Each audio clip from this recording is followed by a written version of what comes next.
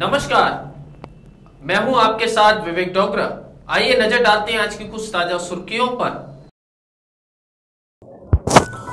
बरेली में पधारे राज्य सफ़ाई आयोग मंत्री सुरेंद्र नाथ उत्तर प्रदेश के बरेली में सफ़ाई कर्मचारियों की चिंता को लेकर लखनऊ से राज्य मंत्री सुरेंद्र नाथ वाल्मीकि ने बरेली सहित कई जगहों का भ्रमण किया। सबसे बड़ा निशान बरेली के करीब में बसा गाँव जनहटा पर नज़र डाली, जहाँ बच्चों द्वारा कराए गए संस्कृति कार्यक्रम में जाकर शोभा बढ़ाई और उस कार्यक्रम में सफ़ाई के बारे में बताया गया। अपने आसपास में गंदगी न फैलाएँ, पूरे भारत को स्वच्छ बनाना है, तभी हमारे भारत के प्रधानमंत्री श्री दामोदर दास नरेंद्र मोदी जी का सपना पूरा हो पाएगा। बरेली से अमल सैनिक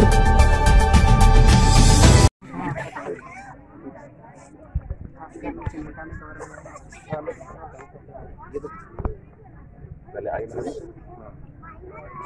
आइए आइए महल में आइए बैठ आइए में हाल में एक महादलित दर्शन का एक कार्यक्रम लगाया गया जिसमें ये हमारे कचकार वंचित समाज के लोगों को कैसे शैक्षिक आर्थिक और स्वावलंबन कैसे बनाया जाए स्वरोजगार कैसे इनको दिया जाए।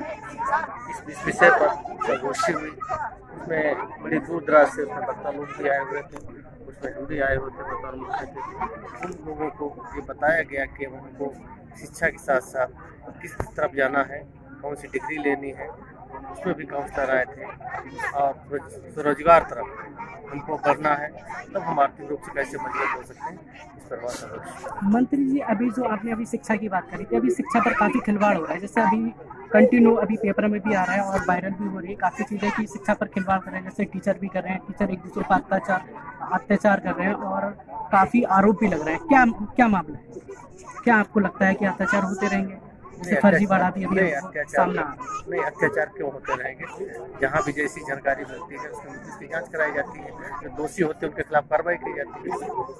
अच्छा मैं ये कहना चाह रहा हूँ अभी यहाँ पर जो आपने अभी दौरा किया है और आप यहाँ पे राज्य सफ़ाई कर्मचारी का आयोग है तो आपको लगता है कि गाँव में क्या सफ़ाई सुरक्षित है यहाँ? गाँव में सफ़ाई व्यवस्था हो रही है। कुछ लोग सफ़ाई का कार्य नहीं करते हैं। इससे पहले भी कहा कहा गया था, जो लोग अपने मूल पद के अलावा दूसरे पद पर कार्य करेंगे, उनके खिलाफ जाँच करा के कार्रवाई की